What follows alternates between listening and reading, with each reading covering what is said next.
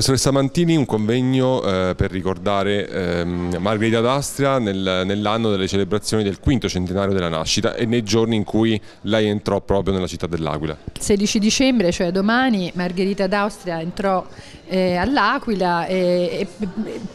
cominciò il suo periodo di governo grazie proprio all'attribuzione di questo incarico da parte del re di Spagna Filippo II, suo fratello. Certo per l'Aquila fu un momento di grande gioia perché veniva da un periodo pesante del governo spagnolo e forse aspettava proprio un principe, in questo caso un principe da un punto di vista politico, di ruolo più che di eh, diciamo, eredità eh, di titolo che portasse diciamo, il prestigio in una città che aveva un po' eh, patito questo. Certo Margherita arrivò all'Aquila con tutta la sua grande corte proveniente per l'appunto da Bruxelles, una corte fatta di, e composta da tanti personaggi illustri, musicisti, intellettuali, artisti, di cui poi rimase tradizione anche nella città una corte che eh, eh, portò in città e portò fuori dalla città dell'Aquila il suo rapporto con l'Europa, quindi l'Aquila divenne, e questo è anche per questo il titolo che è stato scelto, è questo titolo di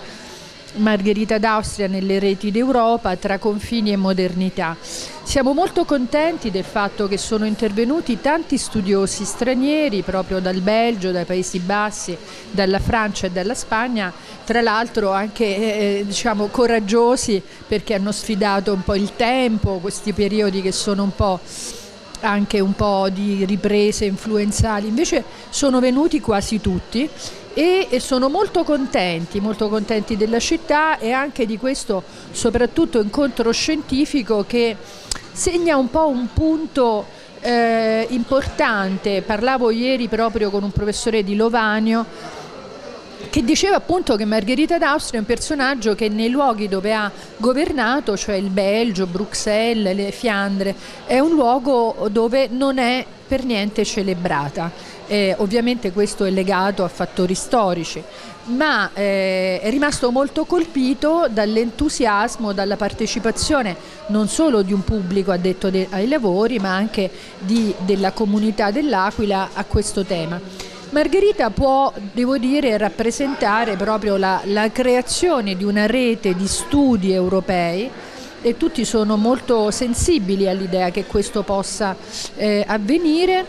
eh, con l'università, quindi anche con il comune oggi eh, si dichiarava questo interesse e anche perché c'è una professoressa eh, Catherine Lichtert che sta proprio organizzando una mostra su Margherita d'Austria internazionale il, nel 2024 e noi speriamo di partecipare ovviamente. Ecco, una figura moderna quella di Margherita d'Astia non solo dal punto di vista culturale ma anche dal punto di vista proprio politico-amministrativo, fu una, fu una donna dalle grandi capacità politiche amministrative. Sì, diciamo che Margherita d'Austria riuscì eh, a, con eh, un regolamento con cui costruì proprio lo Stato farnesiano eh, in Abruzzo ehm, a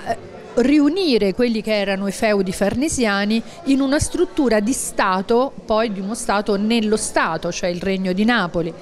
E ehm, portò anche quella che era stata la sua esperienza di governo nelle Fiandre, ehm, organizzando quindi delle forme di governo in un documento scritto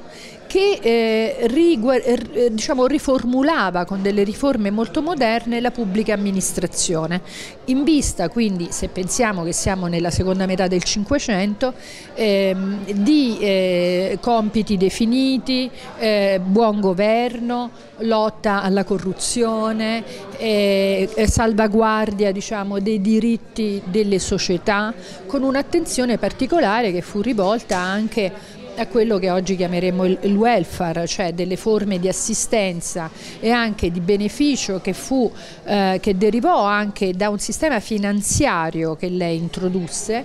per cui dei monti di pegni eh, riuscirono a produrre talmente tanto interesse che, e questi sono studi in corso, che dopo due secoli dopo la sua morte ancora riuscivano a coprire la beneficenza ai poveri perché avevano reso interesse. Quindi una donna di molta modernità, ma soprattutto capace di, come dire, trasformare quelli che erano stati anche un destino diciamo, eh, subito quello di essere pedina nelle vicende politiche matrimoniali volute dal Papa e dall'imperatore in una risorsa, una risorsa che oggi conferma in questo eh, convegno eh, a distanza di vent'anni dall'altro fatto a Parma e Piacenza che io stessa organizzai con l'Università di Milano, non ero ancora all'Aquila, e, e, che aveva anche degli storici e degli studiosi che oggi ci sono. Quindi è come diciamo, un, un circolo che si rincontra ma non per chiudersi ma per andare avanti.